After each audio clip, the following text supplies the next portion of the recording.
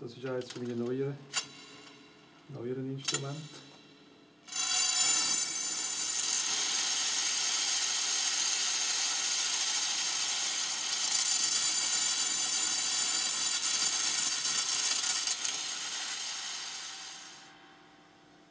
Das sind eigentlich auch tanzende Eisen, oder? Am Anfang waren wir mit dem Vierspurgerät und das hat dann nicht genügt. Ich habe dann schnell gemerkt, das musst mit einem Computer machen. Und dann haben wir einen Atari zusammengespart und einen Roland U220, weil wir mit dem 8 Sounds aufs Mal können ansteuern Und das hat dann gefegt. Wir haben wirklich können das ein Drumset machen. Meistens habe ich, habe ich alle Drums etwa einen Oktav abgetuned, dass sie richtig schwer und, und tief und dreckig waren. Und so sind dann die ersten Songs entstanden. Und die habe ich dann wiederum auf Tape aufgenommen. Aber ich war dann immer enttäuscht, gewesen, dass sobald sie auf Tape aufgenommen waren, dann viel leislicher waren und nicht mehr so schön tönt haben, wie wenn sie einfach gerade aus dem Synthi über die Boxen kommen.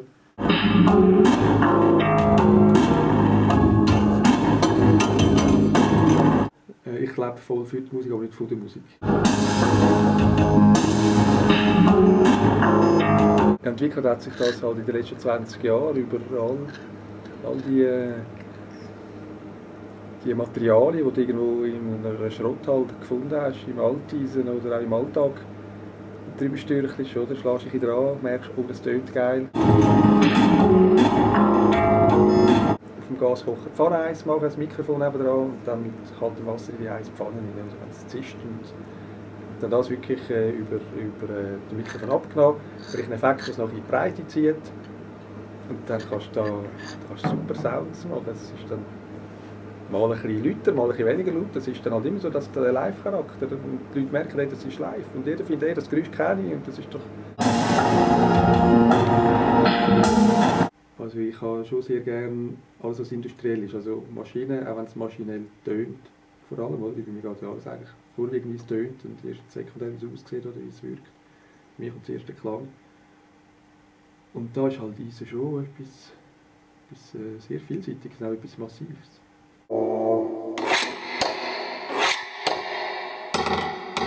Das ist das Erste, oder? Man haut mal aufs Fass.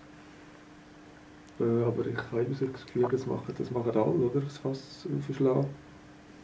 Am meisten auch auf, auf Eisenfässer, das sieht man auch mehr, dass auf Eisenfässer rumhauen. Plastik habe ich auch schon gesehen, aber ich habe dann jetzt so ein, einen Schlauch hergehängt und dort kann ich drin singen in den Schlauch und im Fass ist ein Mikrofon und es gibt einen, einen komischen Sound.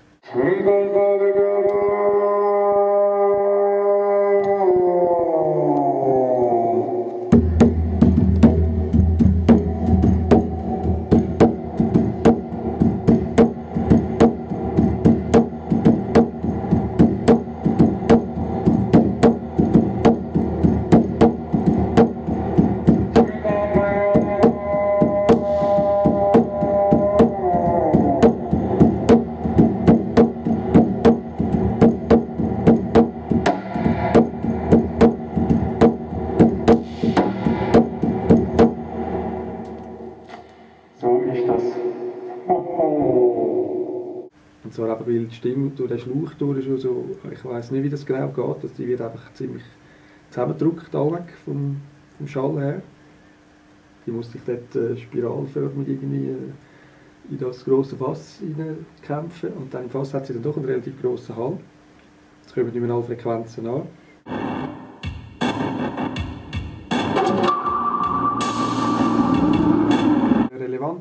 Kulturförderung wäre für mich, wenn, wenn Künstler etwas, etwas bieten, dass ihr mindestens ihr Defizit könnten, äh, vergütet bekommen. Und zwar nicht in so einem komplizierten Verfahren wie, du musst dich jetzt anmelden, was du über ein halbes Jahr machst.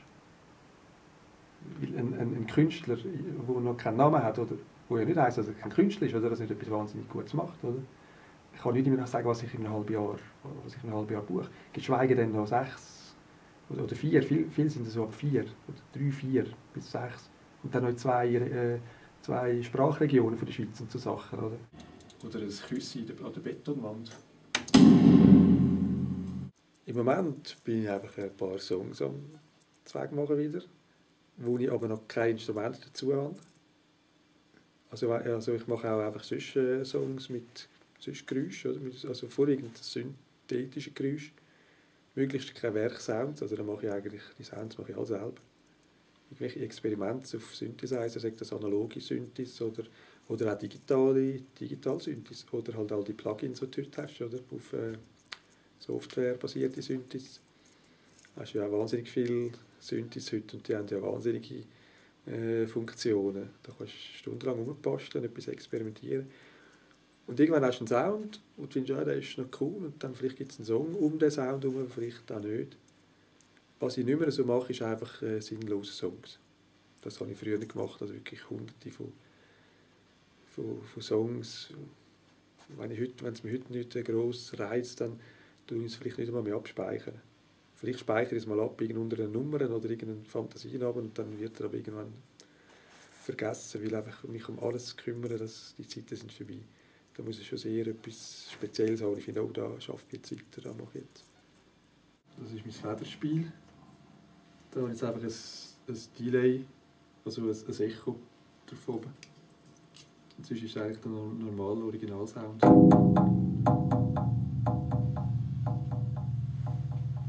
das schwingt relativ lang. Es hat einen schönen Resonanzkörper, weil halt Feder in sich selber schon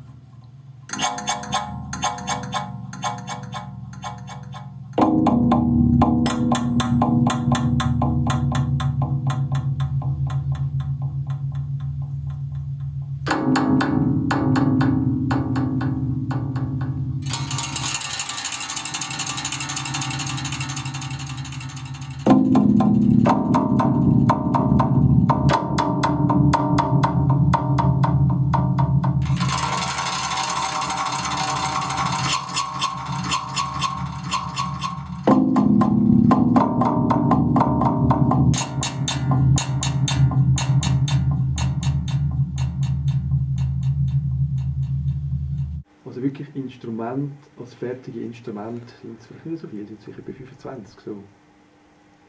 Aber was natürlich viel mehr ist, sind einfach eben Geräusche, die ich aufgenommen habe, die ich dann halt nicht als Instrument, äh, soll ich sagen, heimgenommen habe, nicht weiterentwickelt habe. Ja, zum Teil hast du das gar nicht können heimnehmen, oder? Also das sind 10 Meter hohe Silos oder irgendwie Geländer oder, oder auf Baustellen gibt es auch immer sehr viele Sachen, die tönen. Das ist ein normales Abwasserrohr, oder?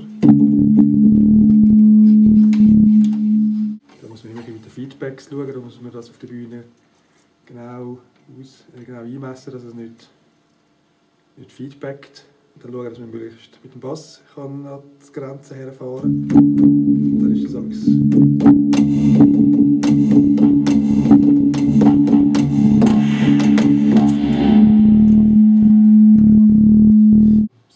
Leute haben gesagt, ja, du bist eigentlich weich, oder? Äh, mach doch das Zeugs Playback. Und ich finde, was? Das ist weich, oder? Wenn ich jetzt davon Playback mache. Also. Ich habe mir das manchmal überlegt, ja, willst du nicht einmal eine saubere Aufnahme machen, hast du gleich immer das gleiche Mikrofon, das gleiche Hi-Hat, aber das bringt es nicht, weil ich mache dann vor allem auch eine Session, oder?